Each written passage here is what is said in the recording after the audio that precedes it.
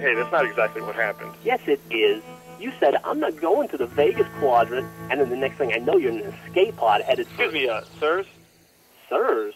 Oh, crap. I was told to report to Blood Gulch Outpost Number 1 and speak to whoever's in charge. Sorry, man. Sergeant of the command getting orders. Ain't nobody in charge today. Actually, Private, he left me in charge while he's gone. You were such a kiss-ass. Also, he told me if I had any trouble from you, I should get in the warthog and crush your head like a tomato can. That's the worst impression I've ever heard. Okay, Rookie, what's your story? Private Donut reporting for duty, sir. I'm ready to fight some aliens. Couple of things here, Rookie. First off, Private Donut? I think somebody needs a new nickname. Secondly, put the armor color. This is the standard issue red. Yeah, I know.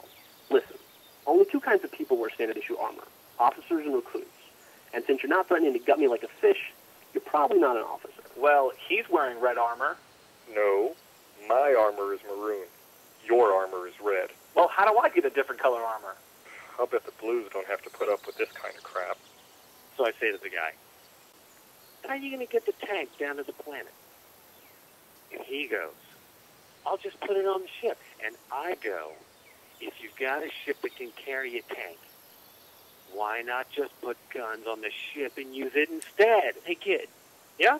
You're ruining the moment. Shut up. Oh. Okay. You got it, man. You know what? I could blow up the whole goddamn world with this thing. Okay, Private Donut, here's the deal. I just refuse to call him Private Donut. We've got a very important mission for you. You think you can handle it? Absolutely. We need you to go to the store and get two quarts of elbow grease. Yeah, and uh, pick up some headlight fluid for the Puma, too. The what?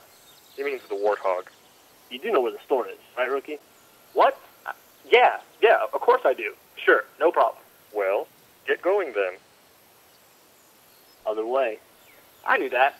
Just got to turn around, that's all. How long do you think until he figures out there's no store? I say at least a week. Elbow grease? How stupid do they think I am? Once I get back to base with that headlight fluid, I'm going to talk to the sergeant. You know what? Forget what I said before. We can definitely pick up chicks in this thing. Probably two or three chicks apiece. Oh, man. Listen to you.